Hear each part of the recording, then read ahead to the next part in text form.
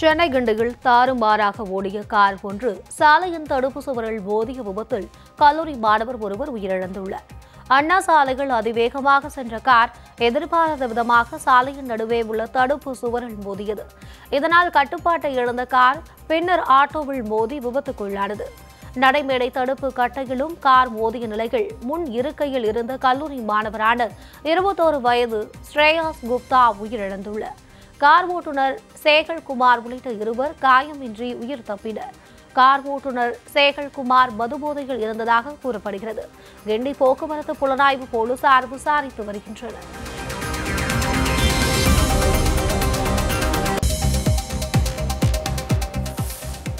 மகாராஷ்டிரா மாநிலம் புனே நகரில் உள்ள காஸ்பாபெத் மற்றும் சென்ஸ்வாட் சட்டப்பேரவை தொகுதிகளுக்கான இடைத்தேர்தலில் ஏராளமான வாக்காளர்கள் காலையிலேயே திரண்டு வந்து ஆர்வத்துடன் வாக்களித்து வருகின்றனர். புனே நகரில் கார்பாபெக் மற்றும் சின்சி வார்ட் தொகுதிகளின் வேட்பாளர்கள் மறைவை அடுத்து அங்கு இன்று இடைத்தேர்தல் நடைபெறுகிறது. இதில் பாரதிய ஜனதா மற்றும் மகா விகாஸ் ஆகாதி கட்சி வேட்பாளர்களிடையே கடும் போட்டி நிலவுகிறது. இந்த தொகுதிகள் ஆண் வாக்காளர்களை விட பெண் வாக்காளர்கள் அதிகம் உள்ளனர். காலை ஏழு மணிக்கு தொடங்கிய வாக்குப்பதிவு விறுவிறுப்பாக நடைபெற்று வருகிறது. இந்த தொகுதிகள் பதிவாகும் வாக்குகள் வருகிற மார்ச் மாதம் இரண்டாம் தேதி எண்ணப்பட உள்ளன.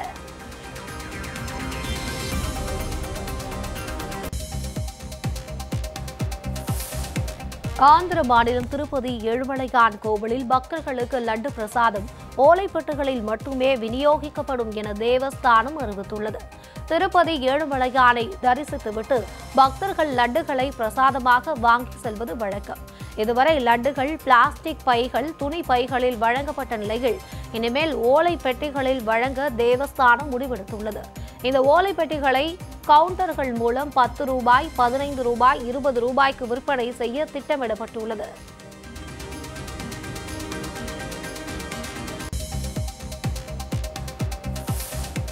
கர்நாடகாவின் பங்களிப்பு இல்லாமல் இந்தியாவின் அடையாளம் கலாச்சாரம் மற்றும் நோக்கங்கள் முழுமையடையாது என பிரதமர் நரேந்திர மோடி தெரிவித்துள்ளார். டெல்லி தல்கடோரா மைதானத்தில் நடைபெற்ற பாரிசு கன்னட டிம் திபாமா கலாச்சார விழாவில் பேசியவர் நாட்டின் எழுபத்தி ஐந்தாவது சுதந்திர ஆண்டு விழாவை கொண்டாடும் நேரத்தில் டெல்லி கர்நாடக சங்கத்தின் எழுபத்தி ஐந்தாவது விழா கொண்டாடப்படுவது அப்- அற்புதமானது தற்செயல் நிகழ்வு என்றார். கன்னடம் மிகவும் செழுமையான இலக்கியங்களை கொண்ட ஒரு அழகான மொழி என்றும் பாரம்பரியம் வாய்ந்த கர்நாடகாவின் நாட்டுப்புற கலை வடிவங்களை மேம்படுத்தி அடுத்த கட்டத்திற்கு எடுத்து செல்ல வேண்டும் என்றும் வலியுறுத்தினார் முன்னதாக கன்னட கலாச்சார விழாவை பிரதமர் மோடி ட்ரம்ஸ் இசைத்து தொடங்கி வைத்தார் का यहाँ आरंभ होने जा रहा है करतल ध्वनि आप सबकी तरफ से ಡೋಲು ಬಾರಿಸುವುದರ ಮೂಲಕ ದೆಹಲಿ ಕರ್ನಾಟಕ ಸಂಘದ ಅಮೃತ ಮಹೋತ್ಸವದ ಸಾಂಸ್ಕೃತಿಕ ಸಮಾರೋಪ ಕಾರ್ಯಕ್ರಮದ ಉದ್ಘಾಟನೆಯನ್ನ ಮಾಡಲಿದ್ದಾರೆ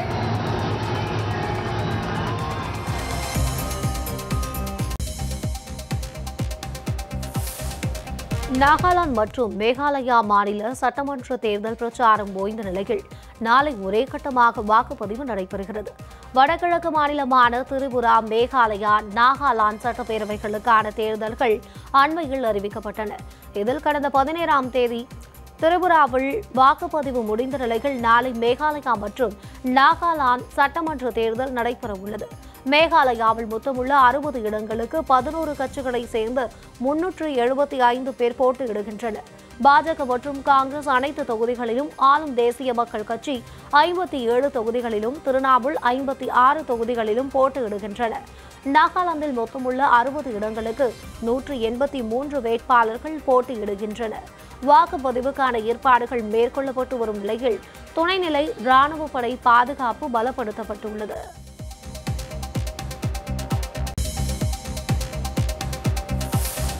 நாட்டின் ஒட்டுமொத்த அமைப்புகளையும் பாஜகவும் ஆர்எஸ்எஸும் கைப்பற்றிவிட்டதாக சோனியா காந்தி குற்றம் சாட்டிய நிலையில் இது நிர்வாக அமைப்புகளின் தன்னாட்சி மீது நடத்தப்பட்ட தாக்குதல் என பாஜக சாடியுள்ளது சட்டீஸ்கர் மாநிலத்தில் நடைபெற்று வரும் காங்கிரஸ் காரிய கமிட்டி கூட்டத்தில் பேசிய சோனியா காந்தி அரசியல் சாசனத்தை அவமதிக்கும் வகையில் பாஜக அரசின் செயல்பாடு உள்ளதாக குறிப்பிட்டார்.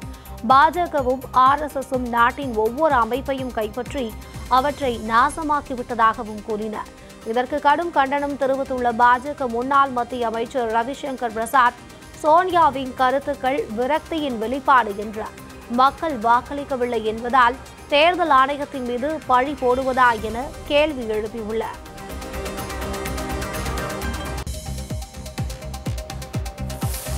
நாட்டில் வழக்குகள் தேங்குவதற்கு நீதிபதிகள் காரணம் அல்ல என்றும் நீதித்துறை அமைப்பின் குறைபாடே காரணம் என மத்திய சட்ட அமைச்சர் கிரண் ரிஜிஜு தெரிவித்துள்ளார்.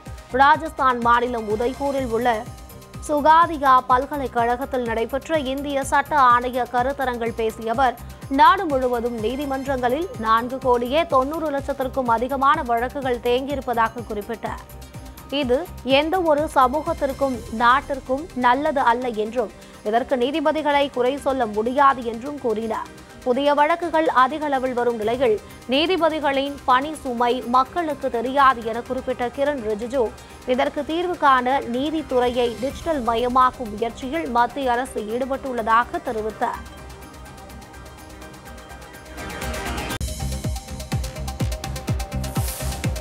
கர்நாடக மாநிலம் பெங்களூருவில் வந்தே பாரத் அதிவிரைவு ரயில் மீது மீண்டும் கல்வீச்சு தாக்குதல் நடந்துள்ள சம்பவம் பரபரப்பை ஏற்படுத்தியுள்ளது. வந்தே பாரத் ரயில் சேவை தொடங்கியது முதல் அந்த ரயில்கள் மீது அனைத்து வழித்தடங்களிலும் கல்வீச்சு என்பது வாடிக்கையான நிகழ்வாக மாறி வருகிறது. அந்த வகையில் மைசூருவில் இருந்து சென்னை சென்று கொண்டிருந்த ரயில் மீது கல் வீசப்பட்டதில் பெட்டியின் இரண்டு கண்ணாடிகள் சேதமடைந்தன. நல்வாய்ப்பாக இதில் பயணிகள் யாருக்கும் காயம் ஏற்படவில்லை.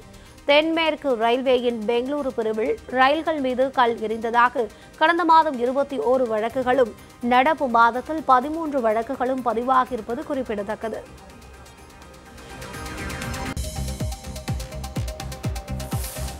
ஹைதராபாத்தில் தனது காதலிக்கு குறுஞ்செய்தி அனுப்பிய நண்பனை கொடூரமாக கொலை செய்த இளைஞரின் செயல் அதிர்ச்சியை ஏற்படுத்தியுள்ளது. தில்சுக் நகரில் உள்ள கல்லூரியில் படித்த நண்பர்களான நவீன் மற்றும் ஹரி கிருஷ்ணா ஆகியோர் சக மாணவி ஒருவரை காதலித்துள்ளனர்.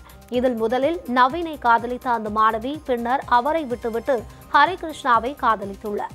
ஆனாலும் நவீன் அந்த மாணவிக்கு குறுஞ்செய்தி அனுப்புவது செல்போனில் பேசுவது என தொடர்பில் இருந்துள்ளார். இதனால் ஆத்திரமடைந்த ஹரிகிருஷ்ணா நவீனை கொடூரமாக கொலை செய்துள்ளார். அவரது தலையை துடித்து இதயம் விரல்கள் அந்தரங்க உறுப்பு என அனைத்து உறுப்புகளையும் துண்டு துண்டாக வெட்டி எடுத்துள்ளார் அந்த புகைப்படங்களை காதலிக்கு வாட்ஸ்அப்பில் அனுப்பி வைத்துவிட்டு சாவகாசமாக நடந்து சென்று போலீசில் சரணடைந்துள்ளார் நவீனின் உடலை மீட்ட போலீசார் விசாரணை நடத்தி வருகின்றனர்.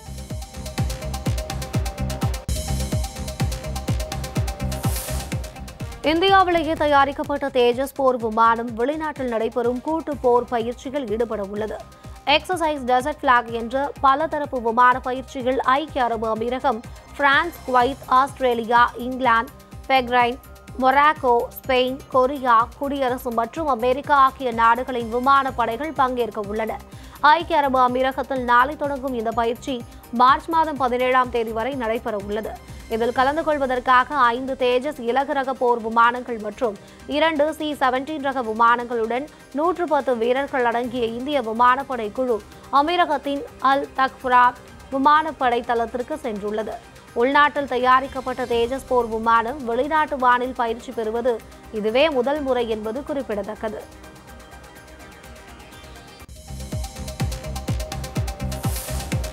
உத்தரப்பிரதேச மாநிலம் அமேதியில் முகமது ஆரிஃப் என்பவர் காயமடைந்த சாரசு கொக்கை மீட்டு சிகிச்சை அளித்து காப்பாற்றியுள்ளார். கடந்த ஆண்டு நடந்த இந்த சம்பவத்திற்கு பின் ஆரிஃப் மற்றும் கொக்கு இடையே பாசு பிணைப்பு உருவானது. தற்போது ஆரிஃப் எங்கு சென்றாலும் அவரை பின்தொடர்கிறது அந்த கொக்கு. பறவையின் நன்றி விசுவாசத்தை காட்டும் இந்த வீடியோ இணையவாசிகளை நெகிழ்ச்சியில் ஆழ்த்தியுள்ளது.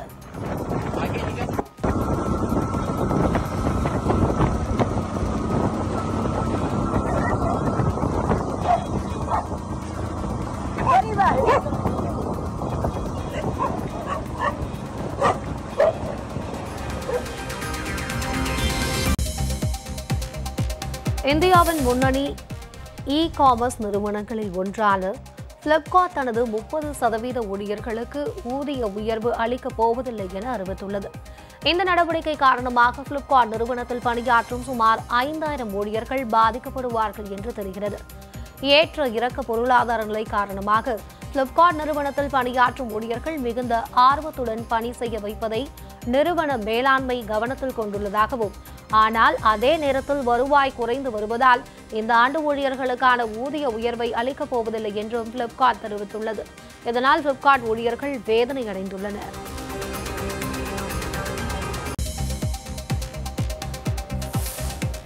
கேரள மாநிலம் பம்பையில் நாய்களை வேட்டையாட சிறுத்தை பதுங்கியிருந்த காட்சி வைரலாகி வருகிறது. பத்தம்திட்ட மாவட்டத்தில் உள்ள பிரசித்தி பெற்ற சபரிமலை ஐயப்பன் கோவிலின் அடிவார பகுதியான பம்பையில் கடந்த சில நாட்களாக சிறுத்தை நடமாட்டம் அதிக அளவில் காணப்படுகிறது.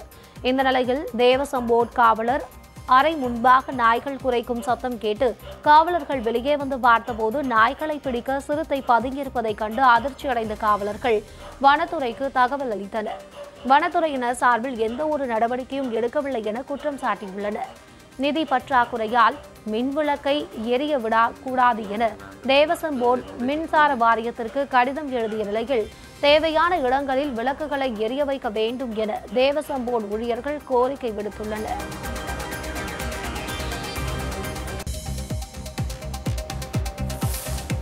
சென்னை விமான நிலையத்தில் இரண்டு கோடி ரூபாய் மதிப்பிலான நான்கு கிலோ கடத்தல் தங்கத்தை பறிமுதல் செய்த சுங்கத்துறை அதிகாரிகள் நான்கு பயணிகள் உட்பட ஐந்து பேரை கைது செய்துள்ளனர். தாய்லாந்து மற்றும் இலங்கையில் வந்த விமான பயணிகளை சோதனையிட்ட போது நான்கு கிலோ கடத்தல் தங்கம் பறிமுதல் செய்யப்பட்டது. இதில் தாய்லாந்தில் இருந்து வந்த சென்னையை சேர்ந்த இரண்டு பயணிகள் உள்ளாடைக்குள் மறைத்து தங்கத்தை கடத்தியது தெரியவந்தது. இதேபோல் இலங்கையில் இருந்து வந்த அந்நாட்டை சேர்ந்த இரு ஆண் பயணிகளை சோதனையிட்ட போது தங்கப்பசை பறிமுதல் செய்யப்பட்டது. நான்கு பேரையும் கைது செய்த நிலையில் வெளியில் வர உதவிய ஏர் இந்தியா ஊழியர் ஒருவரும் கைது செய்யப்பட்டுள்ளார்.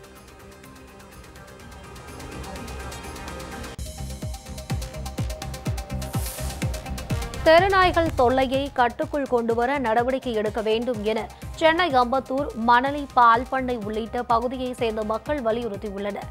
காவல்துறையின் குறைதீர் முகாமில் பங்கேற்ற முன்னூற்றுக்கும் மேற்பட்டோர் ஆவடி காவல் ஆணையரக எல்லைக்குட்பட்ட செங்குன்றம் காவல் மாவட்டமான அம்பத்தூர் செங்குன்றம் மணலி பகுதிகள் தெருநாய் தொல்லை அதிகம் உள்ளதாக குற்றம் சாட்டினர்.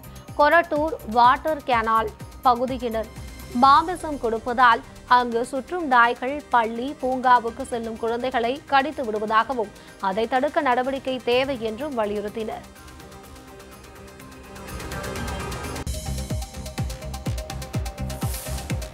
புதுவையில் தடையை மீறி மீன்பிடித்த போது வலைகளை பறிமுதல் செய்ததால் சுற்றுலாத்துறை படகுகளுக்கு தீ வைத்த பாஜக நிர்வாகி மீன் சேகர் கைது செய்யப்பட்டுள்ளார்.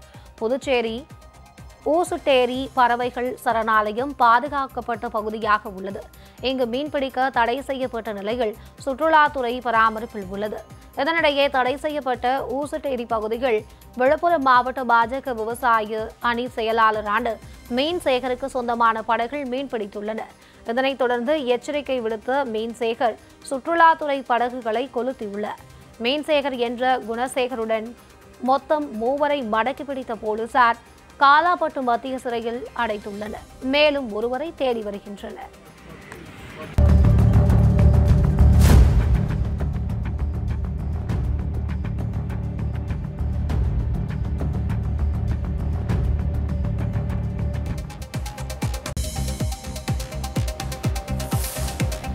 புதுச்சேரியில் அதிவேகமாக காரை ஓட்டி விபத்தை ஏற்படுத்திய பின் நிற்காமல் சென்ற காரை பொதுமக்கள் மடக்கி பிடித்து அதிலிருந்த நபருக்கு தர்ம அடி கொடுத்து போலீசாரிடம் ஒப்படைத்தனர். செஞ்ச சாலையில் கார் ஒன்று அதிவேகமாக சென்று சாலைகள் கொண்டிருந்த போது ஐந்திற்கும் மேற்பட்ட வாகனங்களின் மீது மோதி விபத்தை ஏற்படுத்திவிட்டு நிற்காமல் சென்றது. இதனை அடுத்து காரை துரத்தி பிடித்த பொதுமக்கள் காரை ஓட்டி வந்த நபரை காவல் நிலையத்தில் ஒப்படைத்தனர். பின்னர் விசாரணை நடத்தியதில் கடலூர் மாவட்டம் சேத்தியா தோப்பு பகுதியைச் சேர்ந்த புகழேந்தி என தெரியவந்தது. இதனை அடுத்து வழக்கு பதிவு செய்த போலீசார் அவரை சிறையில் அடைத்தனர்.